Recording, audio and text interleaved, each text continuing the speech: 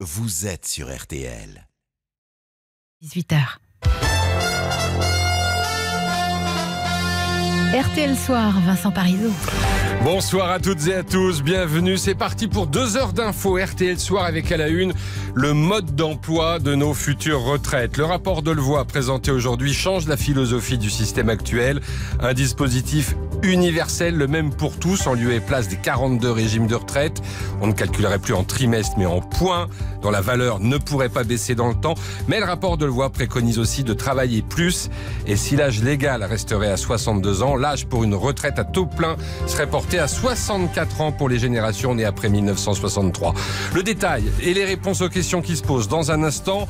Euh, place maintenant aux échanges avec les partenaires sociaux. FO et la CGT sont vent debout, mais la CFDT et le MEDEF approuve plutôt. On en parle à 18h20 avec le secrétaire général de la CPME pour les petites et moyennes entreprises, Jean-Eudes Duménil.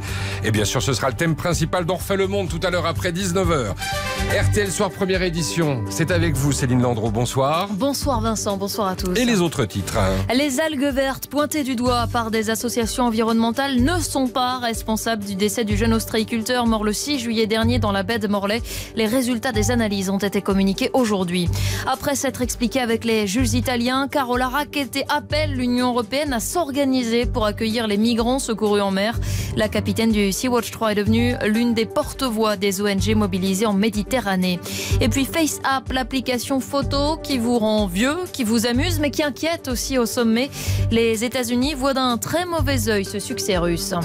RTL Tour de France 2019. Douzième étape aujourd'hui, le peloton est maintenant dans les Pyrénées. À la Philippe a résisté Christian Olivier, mais c'est Simon Yates, le Britannique, qui s'est imposé. Ah malin Simon Yates, à peine vu et euh, pas pris dans la constitution de la méga échappée du jour, 40 coureurs, 5 Français. Toujours malin Simon Yates, bien calé au cœur du groupe dans l'ascension de Pays Sourde. Encore malin, mais le plus fort, quand il a fallu se décider à attaquer au sommet de la seconde difficulté, aux requêtes dans 6 ans, et descendre vers Bagnères de Bigorre dans les roues du Basque Bilbao et euh, de l'Autrichien Mulberger, deuxième et troisième à l'arrivée. 26 ans, ex-vainqueur du Tour d'Espagne et de plusieurs étapes de la Vuelta et du Giro, frère jumeau du leader de l'équipe Adam, Simon Yates signe sa première victoire d'étape sur le Tour de France. Dixième étape individuelle depuis Bruxelles, dix vainqueurs différents, il en faut pour tout le monde. Un partage jamais vu depuis le Tour 2013. Générosité cependant calculée dont ont fait preuve les équipiers de Guérin Thomas en cadenassant la course, conduisant le peloton à leur guise jusqu'à Bagnères de Bigorre dix minutes plus tard. Ce dont Julien Alaphilippe effectivement a profité au cours d'une journée cependant très frustrante et légèrement escamotée. Des forces, les cadors du général les ont conservés pour demain avec un contre-la-montre individuel de 27 km à Pau et dimanche une arrivée au Tourmalet mais nous on n'en peut plus d'attendre. Merci Christian Olivier sur le Tour de France pour RTL. Et puis le cyclisme, on y revient évidemment avec le Club Jalabert tout à l'heure à partir de 18h30 et jusqu'à 19h. La bourse de Paris termine en baisse ce soir, moins 0,38%. Le CAC 40 s'établit à 5550 points. Enfin, les courses à Vichy, il fallait jouer le 11, le 2, le 10, le 4 et le 9. Voilà, et puis après le journal de Céline et l'invité d'RTL Soir, euh, rendez-vous aussi avec le plateau de télé d'Isabelle Morini-Bosque et notamment ce soir le retour de Pékin Express.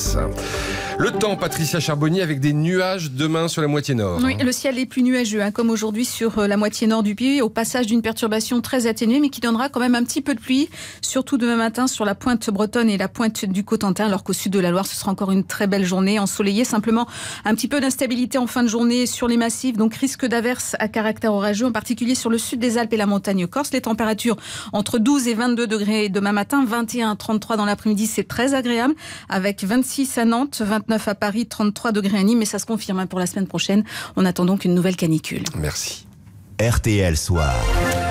Il servira donc de base à la très attendue réforme des retraites. Le rapport de Jean-Paul Delevoye a été rendu public aujourd'hui. D'abord présenté aux partenaires sociaux, puis remis au Premier ministre, le texte pose les grands axes de la future réforme.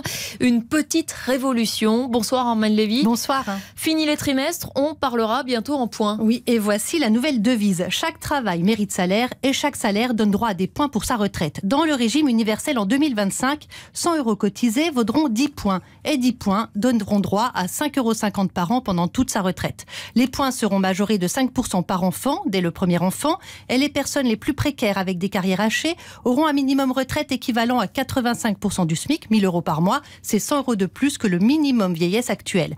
Enfin, pour les pensions de réversion, le régime universel garantira 70% du total des retraites perçues par le couple au conjoint survivant. L'âge légal de départ à la retraite lui reste fixé à 62 ans, mais on devrait voir apparaître un âge pivot. Oui, à 64 ans. Si vous partez à 62 ans, vous aurez un malus de 10%. À l'inverse, si vous travaillez après 64 ans, la pension sera bonifiée. La bascule des 42 régimes de retraite dans le nouveau système se fera progressivement à compter de 2025, ce qui veut dire que la génération née en 1963, ceux qui auront donc 62 ans en 2025, seront les premiers concernés. Ils ne se diront plus je dois avoir travaillé 42 ans pour toucher ma retraite à taux plein, mais je pourrai partir à 64 ans pour avoir ma retraite à taux plein.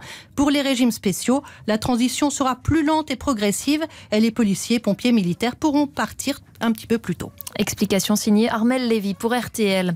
Cet âge pivot de 64 ans, âge d'équilibre, fait partie des gros points de crispation euh, du texte. Certains y voient un recul déguisé de l'âge de départ à la retraite, une fausse solution pour le porte-parole des députés socialistes, Boris Vallot. C'est une façon de repousser euh, l'âge de départ à la retraite euh, sans le dire. Il n'en avait pas été question dans les concertations qui avaient été ouvertes avec les, partenaires euh, sociaux et qui est d'autant plus hypocrite qu'à 60 ans, vous avez moins d'un Français sur deux qui est encore euh, euh, en emploi. Sur la question de la prise en compte de la pénibilité, là aussi, le compte ne nous paraît pas y être. Il y aura des gagnants et il y aura aussi des perdants. Beaucoup de perdants. On voit bien le risque, en réalité, d'une baisse assez généralisée des retraites. on est encore face à beaucoup, beaucoup de questions parce que sur le papier, un système à point peut paraître être une forme de rêve, mais l'exécution peut se transformer parfois en cauchemar. Voilà, le député socialiste Boris Vallot avec euh, Marie Mollet pour RTL. Et puis je vous rappelle, hein, dans quelques minutes, la réaction pour euh, la CPME, les petites et moyennes entreprises de son secrétaire général Jean-Eudes Duménil. Une dizaine de jours après le meurtre de Priscilla, dont le corps avait été retrouvé dans le cimetière d'Estagel, un profil ADN masculin a été identifié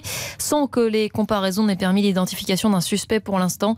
Le 7 juillet dernier, la dépouille de la jeune fille avait été découverte à moitié dénudée, frappée de coups de couteau et avec des traces d'agression sexuelle. Elle venait de participer avec sa famille au bal des pompiers donné dans la commune.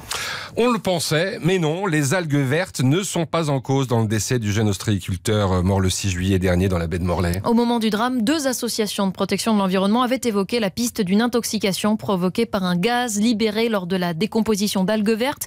Les résultats des analyses pratiquées sur le corps de la victime ont été révélés aujourd'hui par le parquet de Brest, Nicolas Bobby. Et contrairement à ce que laissaient entendre les associations, les algues vertes ne sont pas incriminées. Oui, les algues vertes sont innocentes, les analyses sont formelles, aucune présence d'hydrogène sulfuré, d'alcool ou de drogue. Avant sa crise cardiaque fatale, l'ado de 17 ans portait sous un soleil caniculaire de très lourdes charges. L'autopsie, rapidement réalisée suite à la demande de deux associations anti-algues vertes, avait établi un décès par noyade. Sans commenter cette affaire judiciaire, le préfet du Finistère, Pascal Lelarge, a lancé ce matin en conférence de presse un à la raison. C'est un sujet sur lequel, à la limite, on peut dire n'importe quoi, il y aura toujours quelqu'un pour le gober. Donc je pense qu'il faut accorder un minimum de crédibilité au pouvoir public. Il faut arrêter de dire il y a 3 euh, mètres carrés d'algues vertes fraîches sur la plage, on va tous mourir. Il faut arrêter ce délire. A contrario, il ne faut pas être dans la dénégation du fait que si vous avez des grands amas en putréfaction, ça présente des risques, ça va de soi. Il y avait bien quelques algues vertes là où travaillait le jeune homme, mais elles étaient immergées, donc inoffensives. Nicolas Bobby, correspondant de RTL en Bretagne. La mairie de Paris veut rassurer, il n'y a aucun risque pour la santé dans les écoles à proximité de Notre-Dame de Paris. La déclaration qui vient contredire les révélations de Mediapart selon lesquelles des taux de concentration de plomb dangereux y ont été relevés après l'incendie. Les établissements qui feront par ailleurs l'objet d'un nettoyage approfondi cet été.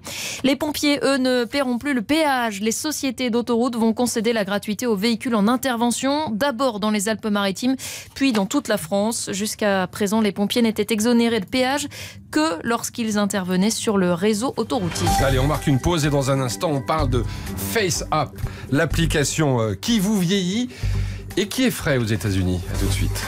RTL Soir, 18h09. RTL Soir. RTL Soir, 18h10, la suite du journal. Vincent Parisot, Céline Landreau. Alors Céline, c'est vrai que c'est une application qui fait un, carton. Elle a d'ailleurs tourné ici dans la rédaction. Ça fait peur hein, d'ailleurs. Hein. Euh, l'application russe FaceApp.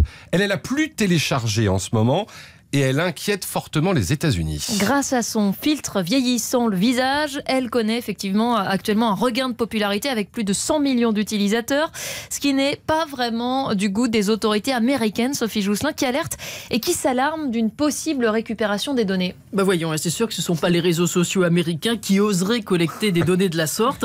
Non, soyons sérieux, oui, FaceApp stocke vos infos personnelles, vos photos avant et après vieillissement, votre géolocalisation, le type de téléphone que vous utilisez, mais ni plus ni moins que les Snapchat, Facebook, Twitter ou TikTok, l'application chinoise. Et dans tous les cas, vos données deviennent les leurs. Le site de FaceApp le dit clairement, ces données sont gardées 48 heures voire plus, et l'entreprise en fait ce qu'elle veut sans vous demander votre accord. Le fait que l'application soit russe nourrit en plus le fantasme des Américains qui imaginent que ces informations pourraient tomber dans les mains de Moscou.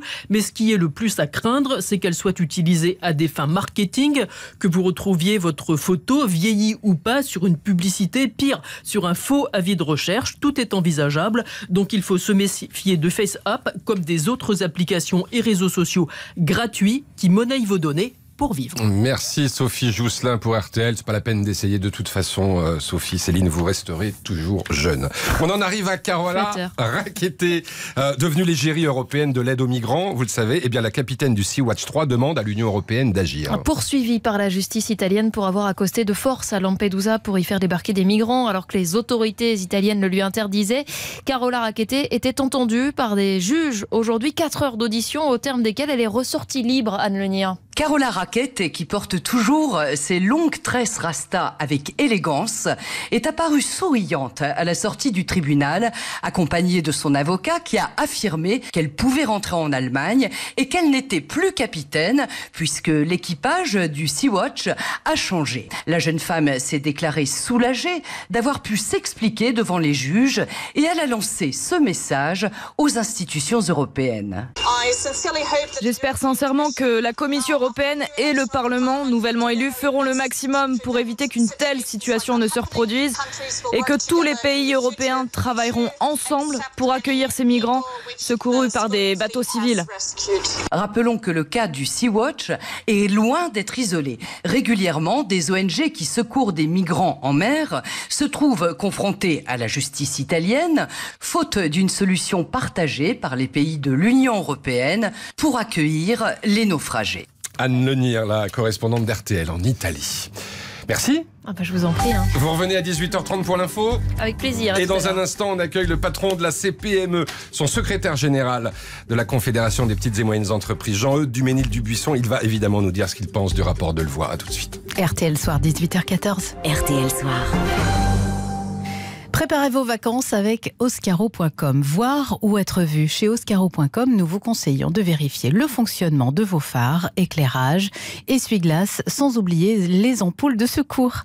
Prenez la route en toute sécurité avec oscaro.com. Retrouvez les conseils de nos experts et partez l'esprit tranquille avec oscaro.com. Oscaro, numéro 1 des pièces auto neuves et d'origine sur Internet.